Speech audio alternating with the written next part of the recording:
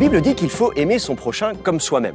Alors moi je veux bien, mais d'abord ça veut dire quoi ce mot prochain? Qui dit ça aujourd'hui?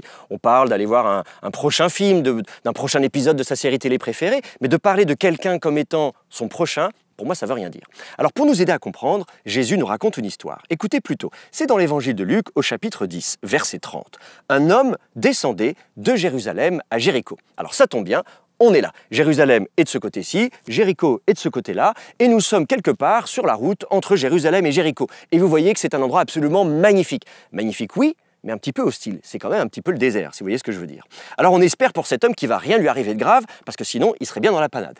Eh bien, manque de bol, c'est précisément ce qui lui arrive. On nous dit, il tomba sur des bandits qui, l'ayant dépouillé et roué de coups, s'en allèrent, le laissant à moitié mort. Aïe aïe aïe, que va-t-il se passer? J'espère que quelqu'un va venir secourir ce pauvre homme, parce que sinon c'est la mort assurée. Fort heureusement, nous dit-on verset 31, il se trouva qu'un prêtre descendait par ce chemin. Mais c'est parfait, merci Seigneur, c'est la providence divine. On ne peut pas espérer mieux qu'un prêtre. Les prêtres, ce sont les chefs religieux, ce sont ceux qui ont la charge de faire la médiation entre les hommes et Dieu, ce sont ceux qui, qui portent les sacrifices, les offrandes. De toute évidence, ce prêtre va venir secourir ce pauvre homme. Eh bien, pas du tout. Il vit l'homme et passa à bonne distance. Alors là, vraiment, moi je ne sais pas pour vous, mais franchement, ce prêtre, il me déçoit. Alors, heureusement, il y a un deuxième personnage qui entre en scène. Verset 32. Un lévite, de même, arriva ce lieu. Ah, formidable. Alors, les lévites, c'est qui? Dans la Bible, au départ, les lévites, ce sont ceux qui assistent les prêtres. Ils font partie du même clan, des mêmes, euh, familles élargies, si vous voulez. Mais on voit que siècle après siècle, ils gagnent du galon. À tel point qu'à l'époque de Jésus, euh, il y a un manuscrit qui s'appelle le rouleau du temple, qui nous dit que le roi doit être entouré d'un conseil composé d'un tiers de prêtres, d'un tiers de lévites et d'un tiers de représentants du peuple. Autrement dit, les lévites sont pratiquement au même rang que les prêtres. Alors on se dit, ce lévite, lui, va montrer l'exemple et il va venir secourir cet homme. Eh ben non, ça marche pas non plus. Rebelote, on nous dit, il vit l'homme et passa à bonne distance. Verset 33, un troisième personnage entre en scène. Un Samaritain qui était en voyage arriva près de l'homme. Alors qui sont les Samaritains?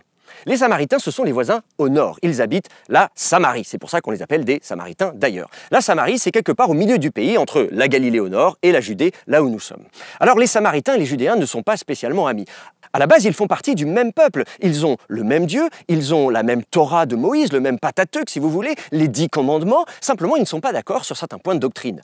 En particulier, la question du temple. Les Judéens ont un temple à Jérusalem et ils disent c'est là qu'il faut adorer Dieu. Les Samaritains disent non, non, non, non, nous avons un temple sur le mont Garizim, c'est là le bon emplacement pour adorer Dieu. Alors cette animosité entre les Samaritains et les Judéens va dégénérer au point qu'au deuxième siècle avant notre ère, une grosse centaine d'années avant Jésus-Christ, eh bien les Judéens vont attaquer et annexer la Samarie. Depuis lors, on peut imaginer que les Samaritains ne sont pas spécialement amis-amis avec les Judéens. D'ailleurs, lorsque les Judéens vont de la Galilée à la Judée, ils contournent la Samarie pour éviter de se retrouver nez à nez avec un Samaritain, pour éviter que la situation dégénère. Alors que va faire ce Samaritain? On peut imaginer plusieurs scénarios. Tout d'abord, il peut avoir envie de se venger, on pourrait le comprendre. Il peut avoir une vengeance un petit peu disproportionnée. Vous savez, tu m'as égratigné, eh bien je te tue. C'est pas ça qu'il va faire. On pourrait imaginer une vengeance graduée. Vous savez, c'est cette fameuse loi du talion dans le Pentateuque qui dit œil pour œil, dent pour dent, blessure pour blessure. Tu m'as blessé, je te blesse. Eh bien, c'est pas non plus ce qu'il va faire. On peut imaginer une troisième option qui consisterait tout simplement à s'écarter, passer son chemin, ignorer cet homme, le laisser mourir. Après tout, on pourrait pas trop lui en vouloir puisque c'est ce que le prêtre et le lévite ont fait. Eh bien, ça n'est pas non plus ce qu'il va faire. On pourrait imaginer un quatrième niveau. D'ailleurs, c'est ce qu'on trouve dans le texte. Verset 33, on nous dit il le vit et fut pris de pitié. Il s'approcha, banda ses plaies en y versant de l'huile et du vin, le chargea sur sa propre monture, le conduisit à une auberge et prit soin de lui. Voyez, ici, on atteint un quatrième niveau. C'est l'assistance à personne en danger. Il voit cet homme qui pourtant est son ennemi, il va lui venir en aide, il va l'amener à l'auberge la plus proche. Bon, c'est très bien. Maintenant, il peut le poser à l'auberge et dire, bah, c'est pas tout, mais maintenant, moi, je me suis mis en retard, donc je file. Eh bien, c'est même pas ça. Il va encore plus loin, un cinquième niveau, cinquième dan si vous voulez. Verset 35. Le lendemain, tirant deux pièces d'argent, il les donna à l'aubergiste et lui dit, prends soin de lui. Et si tu dépenses quelque chose de plus, c'est moi qui te le rembourserai quand je repasserai. Ça veut dire que le Samaritain ici s'engage sur ses propres fonds à prendre soin de cet homme jusqu'à sa guérison, y compris quand lui-même s'absente. Alors là, franchement, respect. Alors qu'est-ce que ça nous dit par rapport à la question de départ De savoir qui est mon prochain? Eh bien, on pourrait penser en regardant l'exemple du, du prêtre et du lévite, qui sont pourtant ceux qui sont les plus proches, parce que c'est ça le sens du mot prochain, c'est celui qui est proche, c'est celui qui est juste à côté, ce sont ceux qui partagent la même foi, la même religion et qui s'écartent. Si on, quand on regarde leur exemple, on finirait par se dire presque, trop de prochains tue le prochain.